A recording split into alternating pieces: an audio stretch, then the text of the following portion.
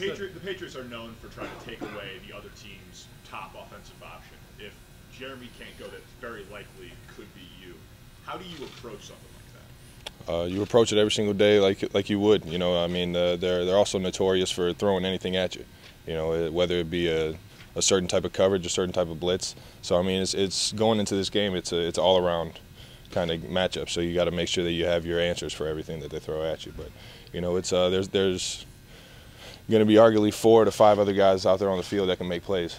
Um, and uh, i know I am, and coaches and everybody else on this team has got 100% confidence that you know those guys or myself are going to make the plays when needed.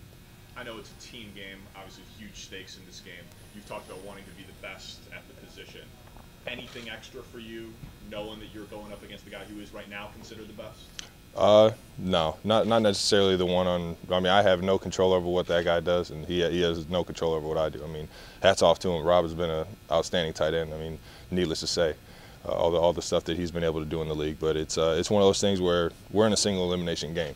So my mind has I have no focus or no care for anything that that offense does while while I'm not on the field, or what that team does while I'm not on the field. So it's um it's one of those things where you just prepare for you and then go out there and, and, and do everything you can for your team. Can you explain what kind of excitement you guys have for the opportunity you have here to go up to their place and eliminate the defending champs?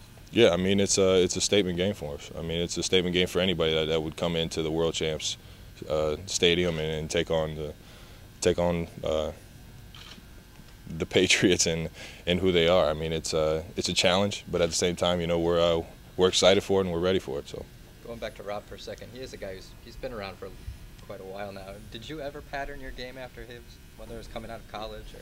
No, I, I haven't patterned my game after anybody's. It's just it's one of those things where I know who I am and you know I know what works for me. I, have taken bits and pieces from from a lot of guys over over the amount of film that I've watched in my career. And um, that being said, you know I feel like you can always take bits and pieces from everybody's game. Uh, so.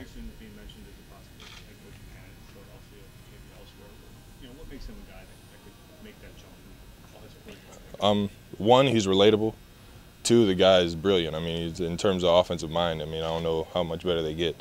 I mean, he uh, he understands the what the what defensive coaches want to present. He understands strategy and things like that. But for the most part, I mean, he's a he's a relatable guy. Guys want to want to play for him, and it's uh, it's it's it's hard to kind of describe that. I mean, his character just his character kind of makes it easy to be yourself and and go out there and do the things you got to do. So, do, if uh, Jeremy can't play, do you feel like you have to do more?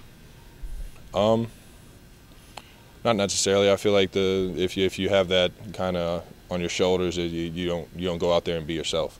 So it's just it's one of those things where I'm going to put put in all the work that I have to out here on this field uh, during the week and go out there and play my play my tail off for the guys next to me. You had your two biggest games against Houston. Do you try to look at those two games and figure out what you did so well? Uh, the Patriots are a completely different team. They're probably going to try and come at me a completely different way. Uh, makes sense, and uh, from there, it's just uh, it's going out and doing everything I can to to keep our keep our drives going and get the ball in the end zone.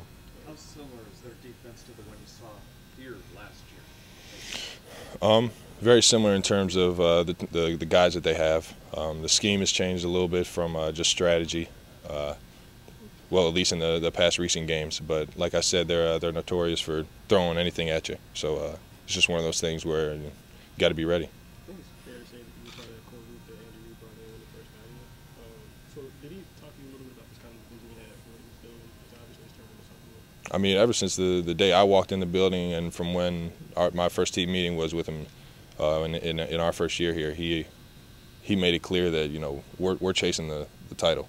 In that first year, we were chasing the title. That's why we came out with the 9-0 start in his first uh, first year in KC. And it's, it's one of those things where, you know, our vision has never dropped. Where we want we want the we want the Lombardi, we want the we want the big dog, and right now we're in a hunt to to chase that thing down.